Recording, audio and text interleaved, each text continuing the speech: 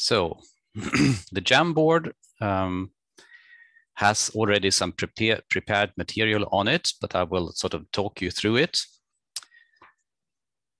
So there is also, as I mentioned earlier, a link. I think it's now also in the chat. So the, the uh, in the middle here uh, of the slide, there is this table of some notation, some syntax for logic. And this is copied directly out of the book. So this is from one of the first pages of chapter two.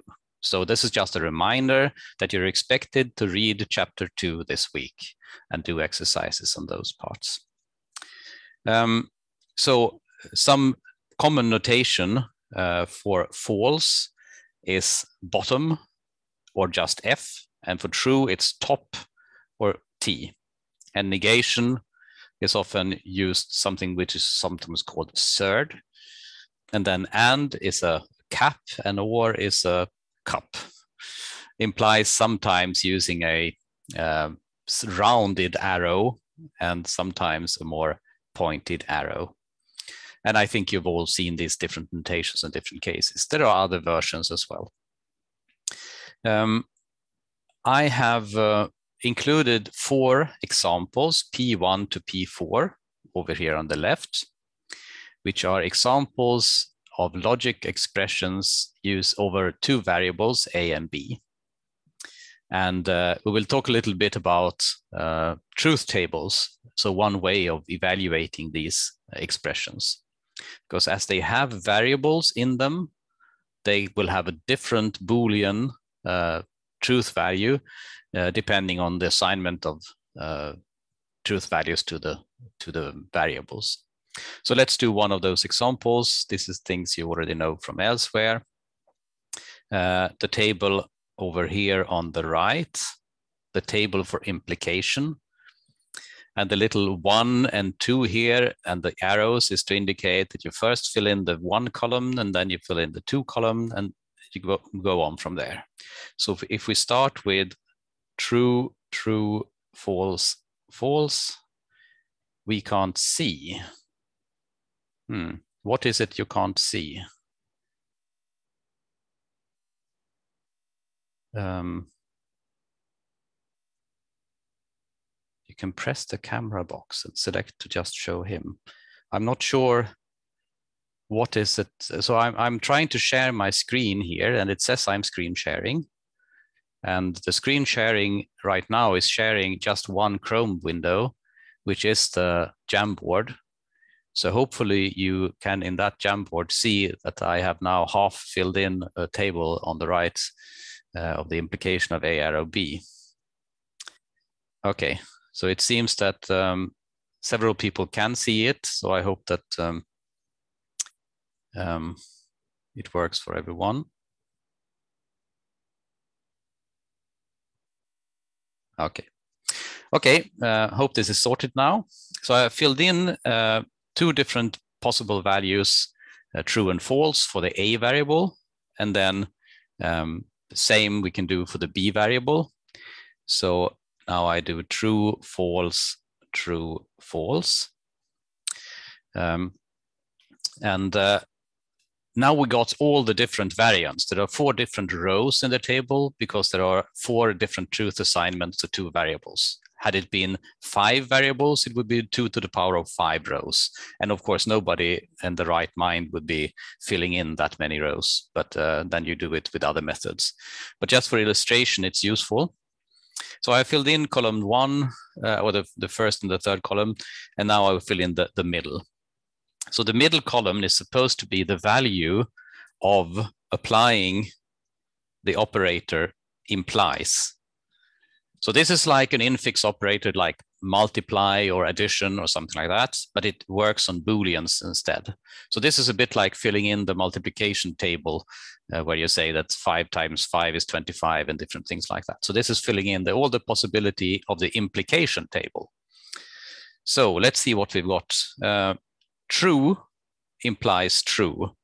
Yes, that's is true.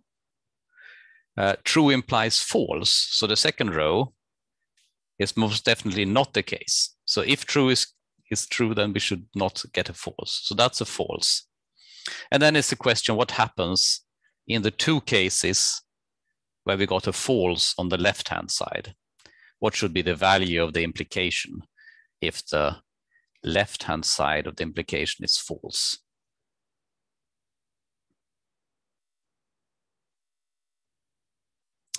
Yes, true. So why is it true? Well, the implication is supposed to show uh, the truth value of the whole expression if A then B. So if the first thing is false, then everything follows. So if you start with something false, then you can prove whatever you want. So we have in this uh, multiplication table, the result under the arrow in the middle uh, we will soon do the, this one uh, on, the, on the left as well. But uh, this is the difficult part with truth tables that you can't really see the dynamics in the end result. But I'm trying to show that with the green numbers underneath here. So first fill in one variable, fill in the next variable, and then start filling in in the columns in the middle um, the results of evaluating that operator. Okay, so here we've done on the left, I've done a similar thing. And as you can see here, it's just the end result. And this is illustrating P4. So the, the um, claim is that if A and B holds, then B and A should hold. And to evaluate that, we first fill in the A, that's false, false, true, true, and in actually one more place, false, true. Now this is strange. False. These two are swapped. I've been too quick in filling this in. Let's let's erase some stuff. I mean, A can must definitely be equal to A. Let's let's erase those two. Uh, so it said on the left, false, false, true, true. So this must also be false, false, true, true. And then the B column, this column here should be same as this column here. So that's false, true, false, true. And then this question, um, what is the value of and of BNA. So, well, if it if any of the two are false, then we get false. So false, false, false, and the only case we get true is the last case down here. And similarly, on the left. So the third and fourth steps here are after we filled in the variables, we can compute the AND. And I've illustrated in the middle here the syntax tree of this P4. So at the top level, there is an implication. And then there is an AND of A and B. And each column represents the truth values of the sub-expression rooted at that symbol. So this column, for example, corresponds to the subtree A and B. Now I use the AND here and the the other notation for and here, but they are both the and. So each column represents the truth values directly underneath a part of the syntax. So this and is the and on the left and this and is the and on the right. Okay, and then finally, we should fill in the results of implication. And to fill in that one, we only need to look at the column with the number three down here and the column with the number four down here, because the implication just takes the result from this whole subtree and the result of this whole subtree and combines them according to the rules in the table we already filled in. So there is only, only there is actually four rows, but there are only two variants. So there is the false implies false, which we can look up somewhere there. False implies false, gives us true.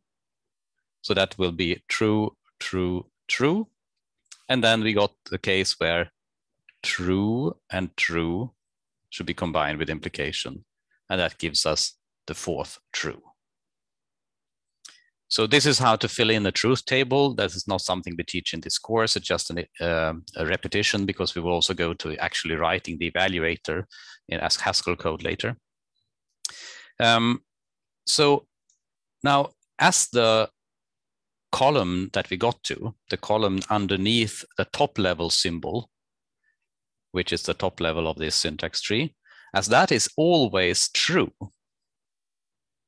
that means that this is a tautology. So P4 is an example of a tautology. Tautology, tautology. So P4 is an example of a tautology. And a tautology is, as it's always true, it means that actually not syntactically, but semantically, this whole thing can be simplified to true. And that kind of simplifications is what is very useful if you have very big logic expressions.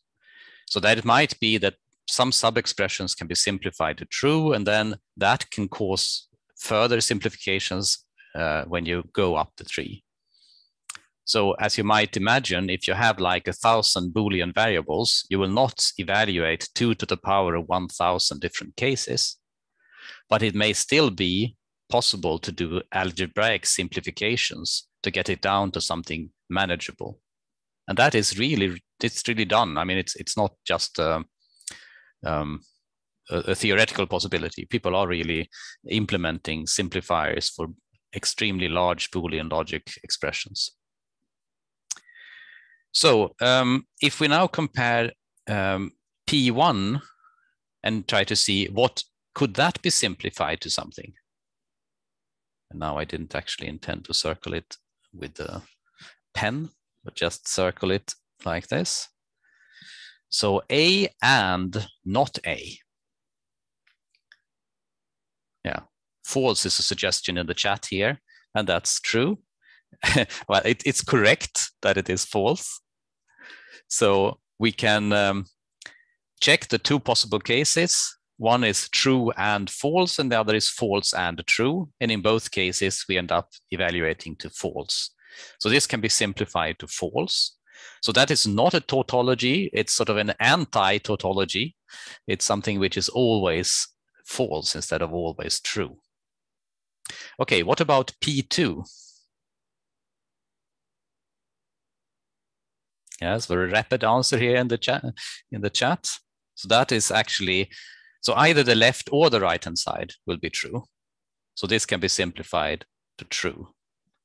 So actually, we have another example. P2 is also an example of a tautology. Okay, so P2 and uh, P4 are tautologies. P1 is always false, and P3, it really depends on the values of A and B. Okay, so that's uh, that's all on this first slide. I will now move on to the next uh, Jamboard page. And um, here I've, I've taken what was on the previous slide on the left and made it a little bit smaller. Um, and then I introduced a data type called prop for this propositional calculus. And uh, this propositional calculus, you could think about it very much like the evaluation expression data type we had from last week. So it has a number of operators and, or, implies. And each of those uh, operators, see that there's a bit of a delay between the Jamboard and my screen. But anyway, yeah. And each of these operators take two props as arguments.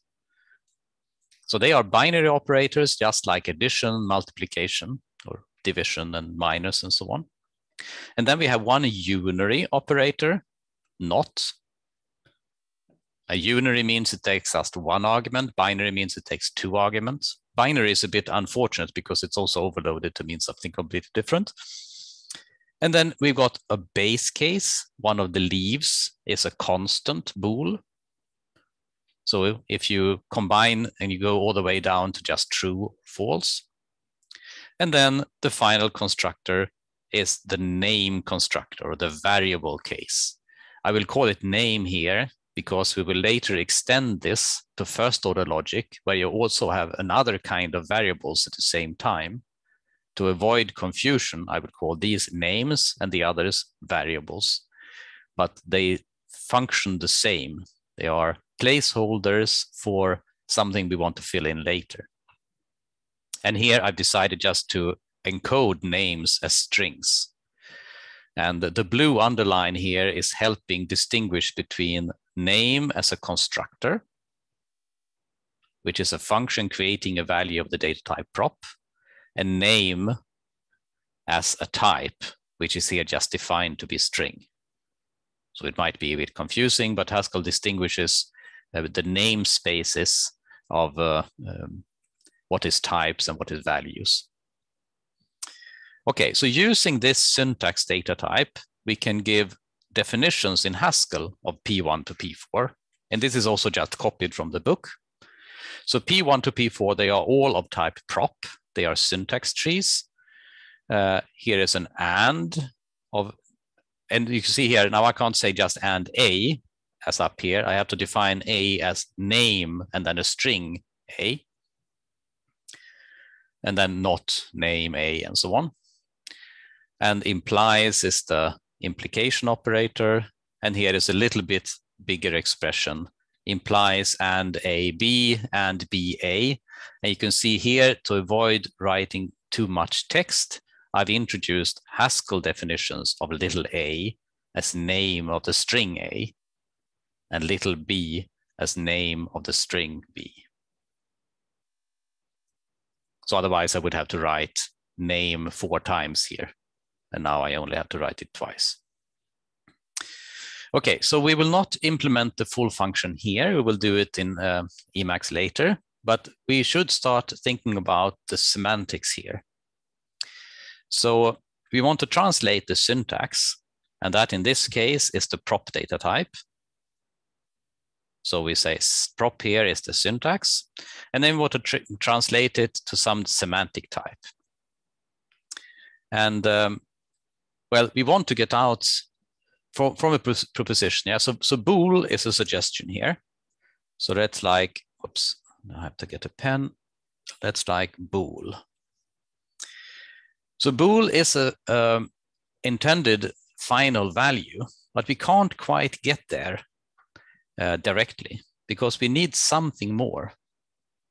Because notice we've got the name case here. So we got uh, a parameterization, yes, values for variables. We, we need to have some kind of um, table that keeps track of the different values for the names. So we need to know what to do with n here. So, so let's just first say that we need a table. I'll just call it So that would mean that the semantic type would at least have this shape. It's a function from a table to a Boolean. So the table itself should translate from names, actually strings, to Booleans. So what it's saying is, if we can translate the names, then we can translate the whole proposition. So the names are sort of the leaves in the tree. And if we just know what the names are translated to, then we can translate everything. Okay, but then what would what should we do with the table and what is it? How can we implement a table? So we can ask ourselves if we want to write the declaration here, type tab equal. What should we write? There are different choices, but any any suggestion? Okay, there is a suggestion here, string to bool. I will write it as name to bool. Um, yeah, so that's the equivalent. So if we have such a function, a function which will take any name and give us a Boolean value, then we could translate the whole thing to a Boolean. Okay, so now there is a comment saying that this is not still completely true, that given a table, we can give a bool. What if the table doesn't contain the variable we need? Yeah, so that's that's uh, indicating that the table here uh, is usually when you when you say table, you usually think about something finite, which can only then give a Boolean value for a finite number of names, which would potentially be a problem. But here, what we have defined it to be is not something finite. This is actually a mathematical function from strings to booleans. So this will have to give us a bool for each name. You could say that one way of easily implementing a table is to give a default case, which always returns false or true or something. Uh, but if you would have an alternative definition, so if you would have had a table prime, which then a list of pairs of names and booleans, that's also an option. Uh, if you would have this type, then you would get a trouble into trouble because when you look up a name, you might not find it. So in that case, the resulting type, if it would use tab prime here, then we couldn't just be sure to return a Boolean in the end. So an alternative full type, which I would write below here, if we used tab prime, then we would have to return a maybe bool. So this would be an alternative type prop to tab prime to maybe bool. So that's showing uh, so a bit of a trade-off here about how to encode things. Um, and there are different other variants as well. But let's stick to the tab to bool function version now, because it's convenient and it makes the possible to fill in the right-hand side here of the case of the eval function on names. So what should be a value which will evaluate a name in this context?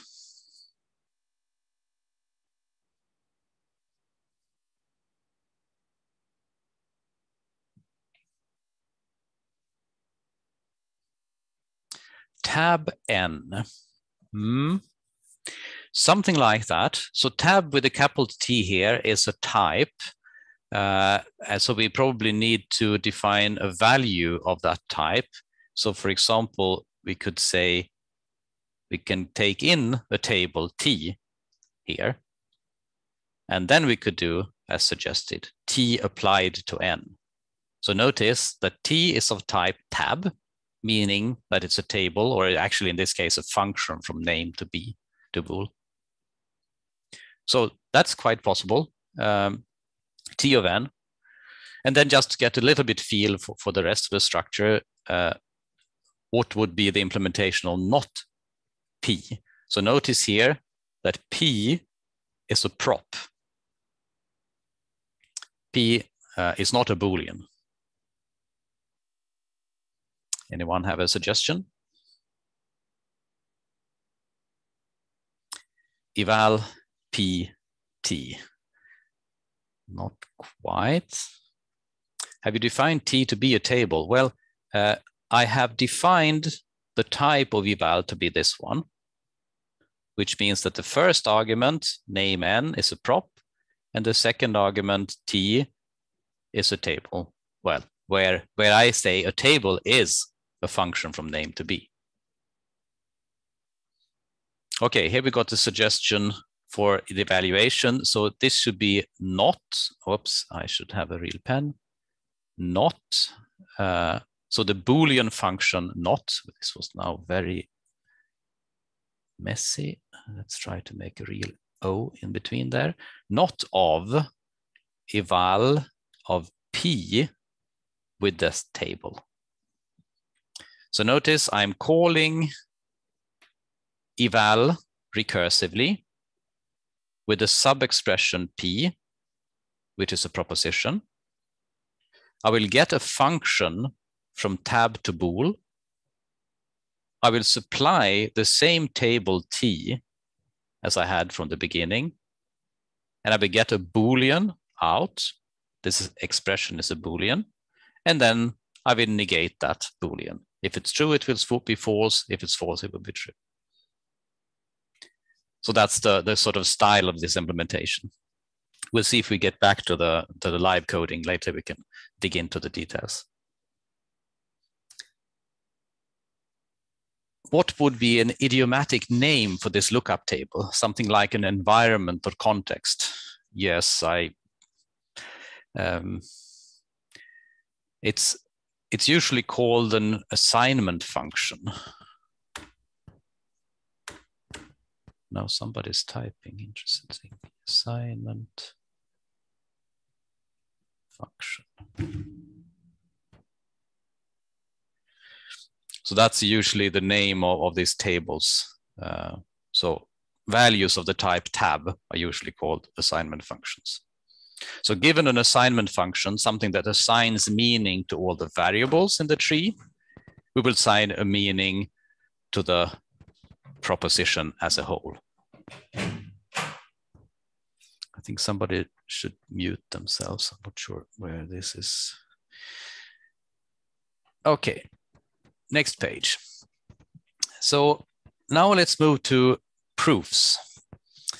Um, so I will actually mix up here uh, a bit the typing and proving because, uh, well, partly it's a very convenient notation and partly it's actually works. In uh, more advanced programming languages than Haskell, we can actually uh, do quite a bit of uh, implementation of proofs directly. So I hope you now see a Jamboard screen where I'm have proofs as the heading and the explanation of the first little judgment, A colon capital A. So small a colon capital A is saying that the small a is a proof of the capital A. So the little colon is encoding is a proof of here. So then we can see a rule, which is usually called and introduction. So logical rules are very often given in this form that you have a line and below the line are the conclusions and above the line are the assumptions. So the first reading of this, you can ignore the small parts and the colons and just say, and introduction says A and B implies A and B.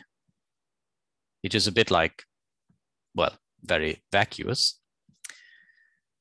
But here it says something a little more. It says, if we have a proof little a of capital A and a proof B of capital B, then the pair of proofs a and B is a proof of capital A and capital B. And I have the little red text here saying that reminding you that this symbol is called and and often written with an ampersand. So I'm claiming here that a proof of an and is actually a pair.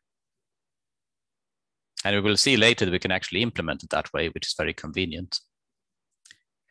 Um, another thing, another data type, which then has the corresponding role for or, is the either type.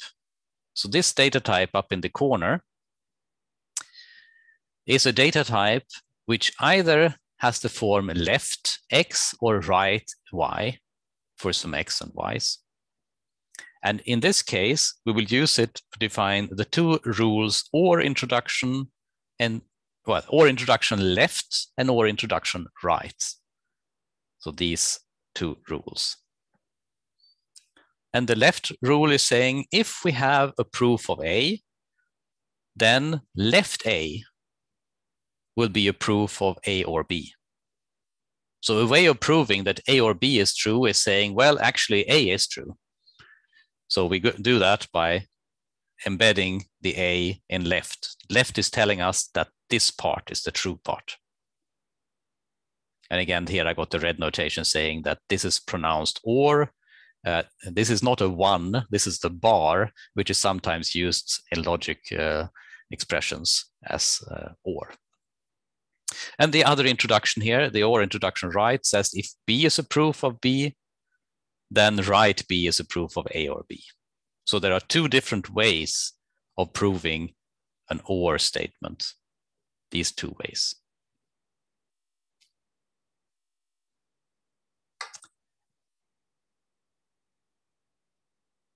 Okay, now I move one slide for, forward. Uh, so I keep everything we had, but I've, on the left-hand side, I've added two more rules. So I had this first rule saying that if you want to prove an AND statement, you need a pair of proofs.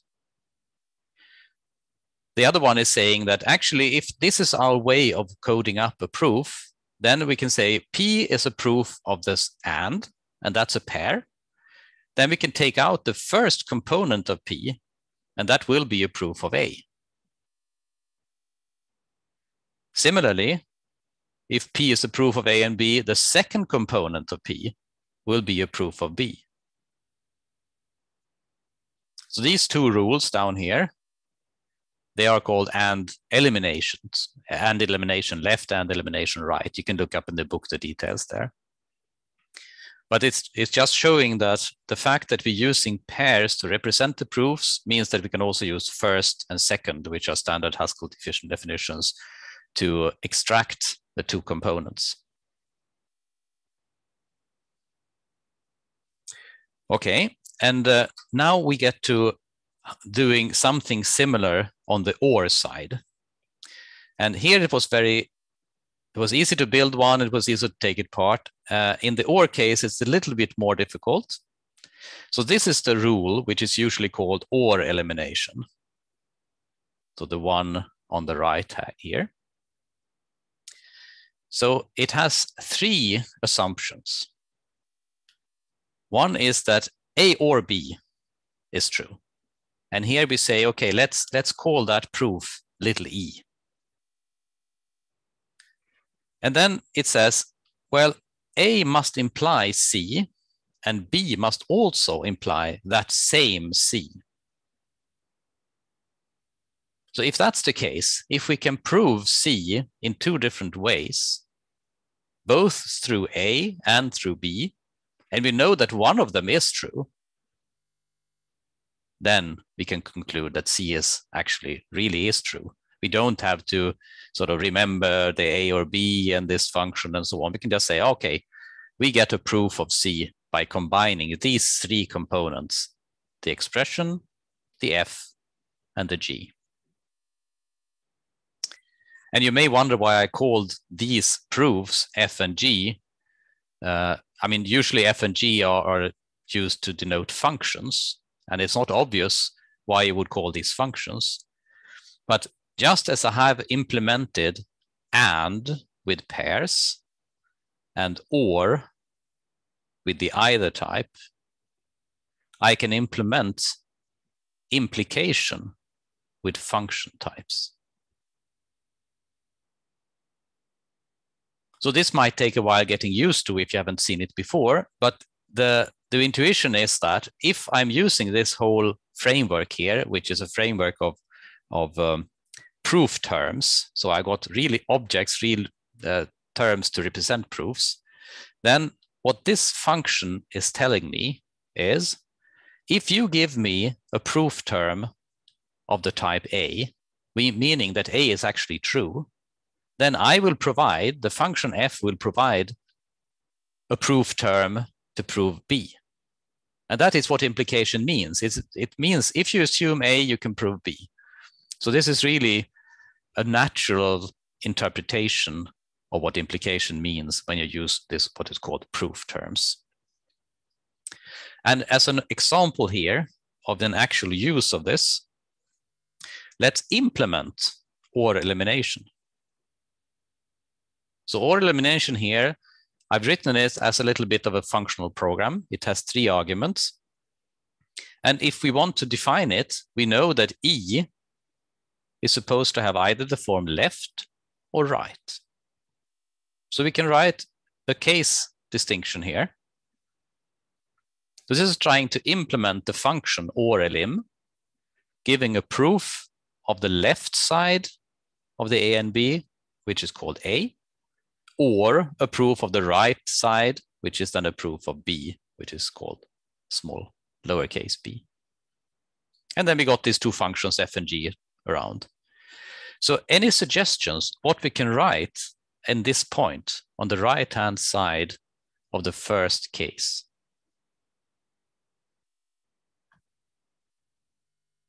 We need here to produce a value of type C.